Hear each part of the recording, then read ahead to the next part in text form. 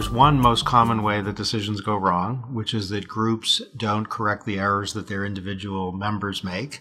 And the reason is either that the groups are not collecting the information that the members have who are silencing themselves, or that the members have erroneous inclinations and the group deliberation doesn't manage to fix them.